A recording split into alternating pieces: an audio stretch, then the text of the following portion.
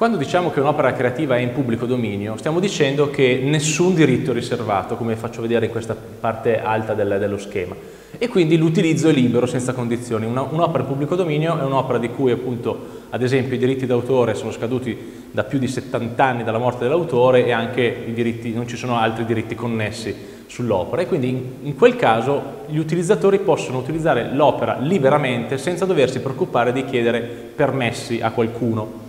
Però andando ad un livello di dettaglio maggiore vediamo che le opere possono essere in pubblico dominio secondo diciamo, tre forme, tre manifestazioni diverse del pubblico dominio.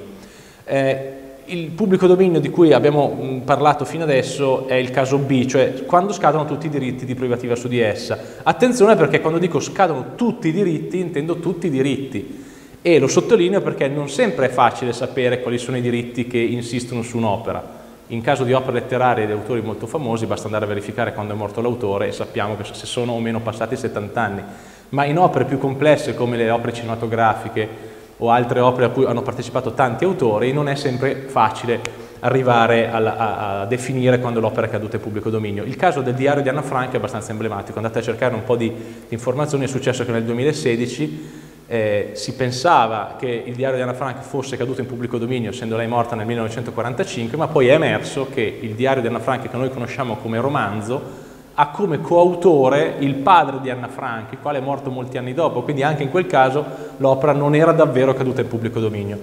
Gli altri due casi, il caso A e il caso C, adesso li vediamo brevemente, il caso A appunto eh, dice che il pubblico dominio si verifica anche quando è stabilito espressamente dalla legge, io lo chiamo public domain by law, cioè pubblico dominio per legge. Nella legge italiana abbiamo un unico caso che è quello dell'articolo 5